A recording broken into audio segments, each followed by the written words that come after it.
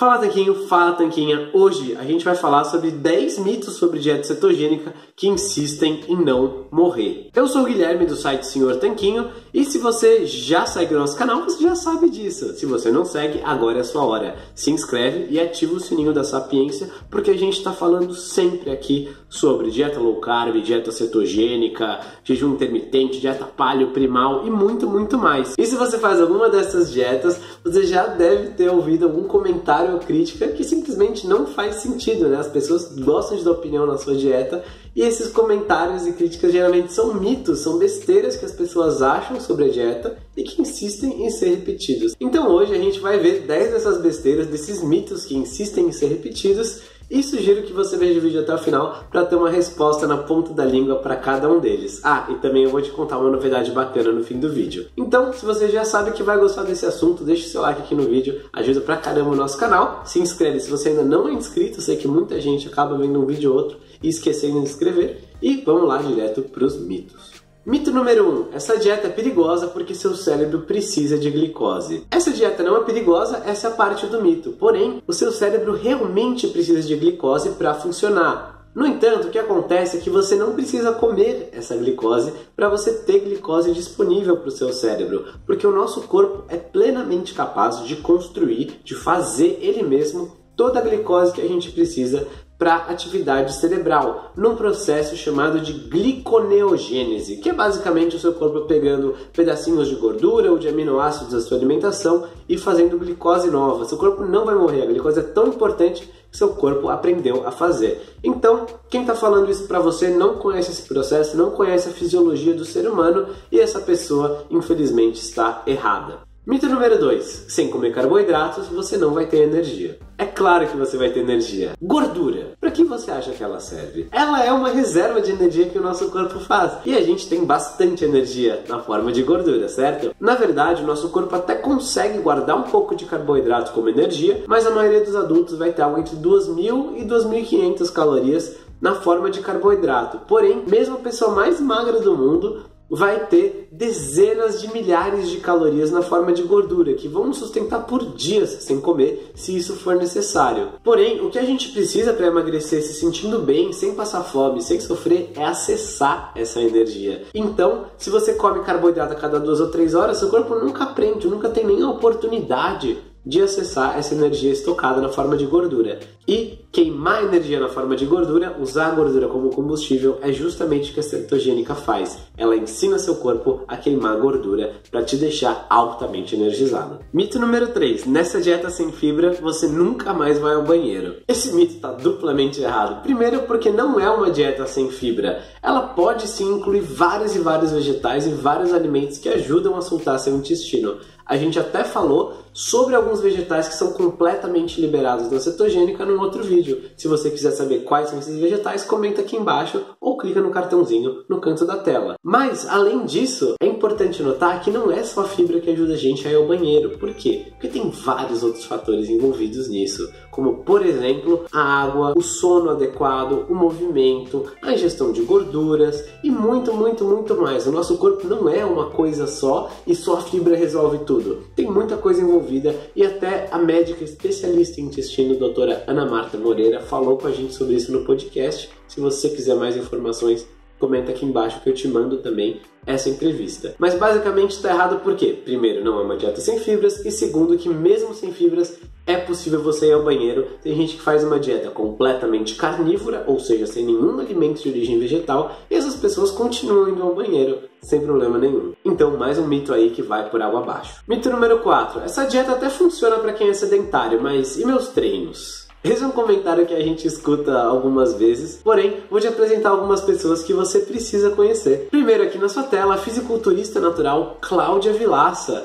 Ela é campeã de fisiculturismo, ela tem 56 anos, não toma hormônios, não usa suplementos, segue uma dieta cetogênica. Acho que ela consegue treinar. E a gente inclusive entrevistou ela, ela revelou a dieta exata que ela segue. Você pode pedir o link dessa entrevista também nos comentários que eu mando para você. Segundo, a Diva Osório. Ela é uma atleta de CrossFit, então é uma modalidade altamente intensa. Ela compete nessa modalidade e também segue uma dieta cetogênica durante 90% do tempo pelo menos e já revelou que se sente melhor com cetogênica do que com um monte de carboidratos. Esse aqui na tela agora é o Luiz Villasenor, ele é o criador do site Keto Games e ele fica bombadão usando dieta cetogênica e ensina outras pessoas como faz isso. Ele usa uma dieta cetogênica um pouco diferente, que é algo que eu falei sobre ela, né? uma dieta cetogênica com um pouco mais de proteína, num outro vídeo sobre os tipos de dieta cetogênica. Vale a pena você assistir também. Esse aqui na tela agora sou eu,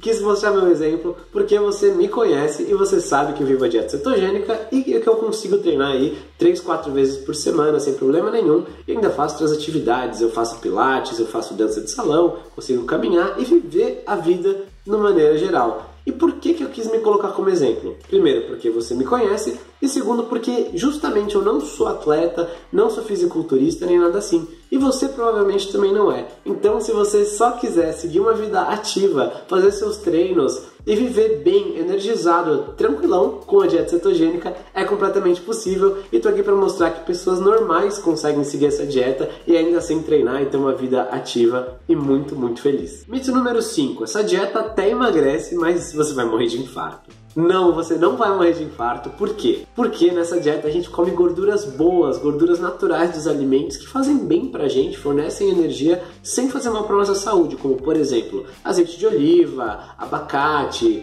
peixes, ovos, frango, carne, amêndoas, castanhas, enfim, um monte de fontes boas de gordura e não um monte de lixo processado como óleo de canola, margarina, e por aí vai. Essas coisas é o que muita gente come quando come gordura e por isso que essas pessoas acabam se ferrando, porque elas comem essas gorduras processadas mais um monte de açúcar e carboidrato refinado e isso sim traz risco para a saúde. Mas agora falando um pouco mais sério, se você seguir a dieta cetogênica e acontecerem as seguintes coisas que são relativamente típicas de acontecerem, geralmente acontecem com muita gente, você emagrecer, diminuir a sua circunferência abdominal, aumentar o seu HDL, chamado colesterol bom, diminuir os seus triglicerídeos e melhorar suas frações do tipo colesterol total sobre HDL, tudo isso acontecer e tende a acontecer com muita gente que vem da dieta ocidental, você vai estar com menos risco cardíaco do que alguém que come uma dieta pobre em gordura, porém que tem esses marcadores muito piores do que os seus, porque esses marcadores são preditores muito melhores de risco cardíaco.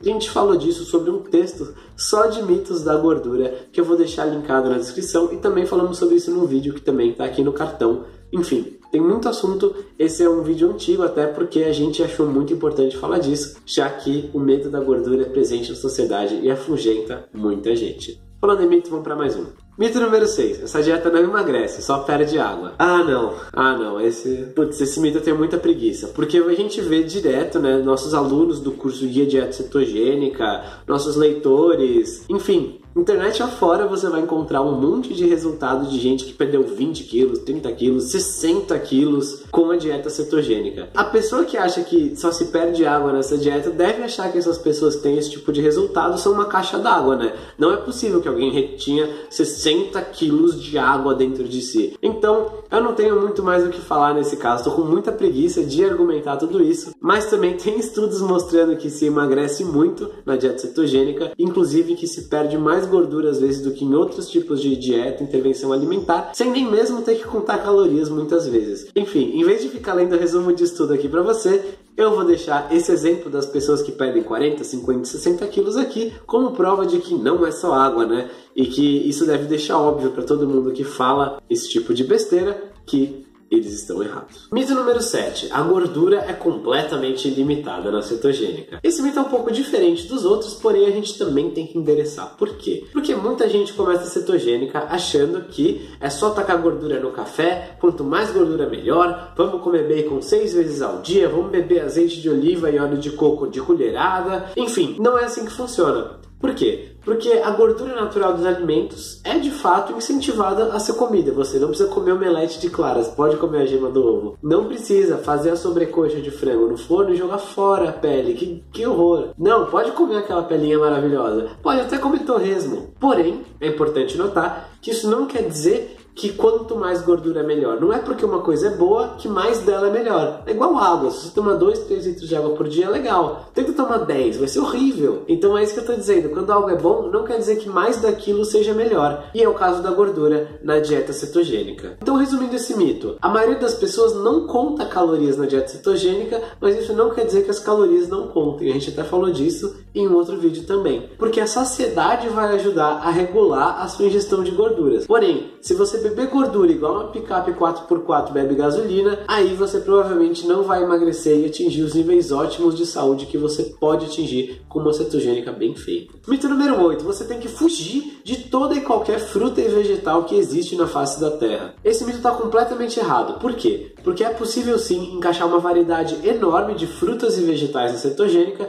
Tem até alguns vegetais que são considerados liberados, que você pode comer à vontade sem se preocupar. Eu te mostro eles em outro vídeo. E também você pode ver a nossa lista de compras da dieta cetogênica, que eu vou deixar aqui também no videozinho. Você pode ver o que a gente comia numa semana quando a gente morava juntos em Sorocaba. E também você pode baixar uma lista de compras exemplos para você modelar a sua própria. Então, só com esses dois exemplos visuais já vai ficar bem claro para você que não, não precisa fugir de frutas e vegetais. Eles podem ser bem-vindos se você fizer as escolhas inteligentes. Mito número 9. Na cetogênica é impossível ganhar massa magra. A gente já mostrou a questão dos treinos no mito anterior e por isso não vou me estender demais nesse daqui, porque a gente já mostrou exemplos de pessoas que conseguem ganhar massa magra na cetogênica, o que prova que não é impossível. Porém, a gente já falou em um pouquinho mais de detalhes, mecanismos que estão por trás da hipertrofia em um outro vídeo sobre hipertrofia e low carb.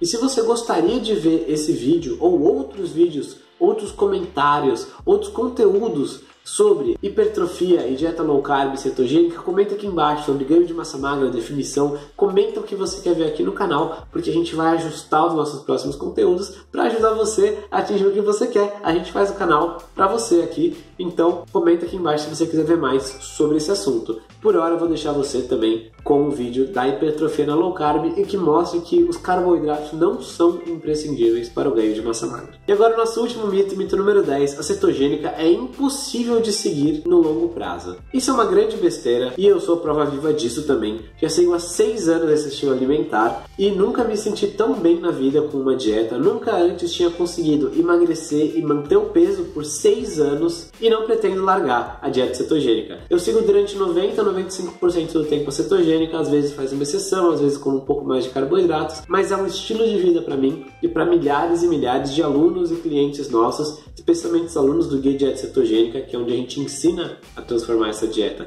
em estilo de vida. Eu já mencionei mais de uma vez o Guia Dieta Cetogênica, tem link para ele aqui na descrição. E se você se interessa por aprimorar seus resultados, melhorar seu corpo, sua saúde, sua disposição com a dieta cetogênica, que você conheça o programa. Por quê? Porque seguir a cetogênica não é difícil, você não precisa ser um PhD em bioquímica ou em nutrição para conseguir fazer bem feito. Porém, quando você tem as ferramentas certas, as informações certas, é mais fácil de acertar do que você ficar procurando informação na internet afora e cada hora ver uma informação diferente, não sabe muito bem o que fazer. E aqui no YouTube a gente tem muito conteúdo, você pode ver esses conteúdos gratuitamente, porém no programa eles estão organizados assim na ordem certa que você tem que seguir. Tem também um desafio lá de 30 dias para você seguir a cetogênica do começo ao fim nesses 30 dias e se adaptar ao estilo de vida. E é sobre isso que eu queria falar com você agora. Eu queria te propor um desafio para você que ficou até aqui. A gente está querendo democratizar a dieta cetogênica e por isso vamos fazer no Instagram publicamente um desafio de 31 dias keto, esses 30 e mais um de bônus. Pode seguir a gente lá no Instagram,